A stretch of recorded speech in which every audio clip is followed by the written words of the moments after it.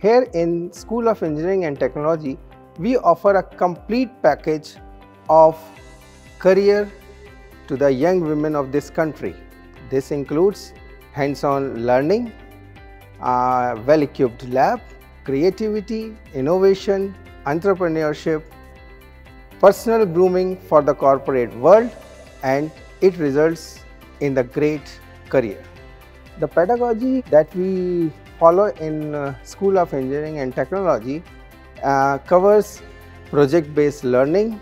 Uh, the teachers emphasizes on uh, practical based concepts and then we have a very unique concept of teaching um, foreign language to each and every students. That means any student who takes admission in BTech Computer Science and Engineering or any other course in School of Engineering and Technology will get a compulsory training of foreign language that will help them in getting the job and that will also help them if they get some internship in the foreign country.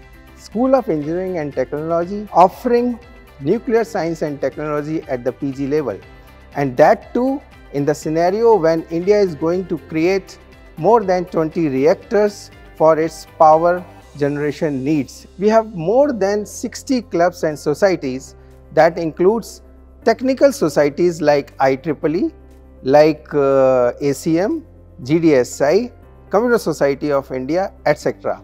All these societies, they work together to shape the career of the students in the School of Engineering and Technology. The placements in School of Engineering and Technology has always been great and this year also the students have got uh, a maximum package of more than 30 lakhs and an average package of 10 to 11 lakhs per year.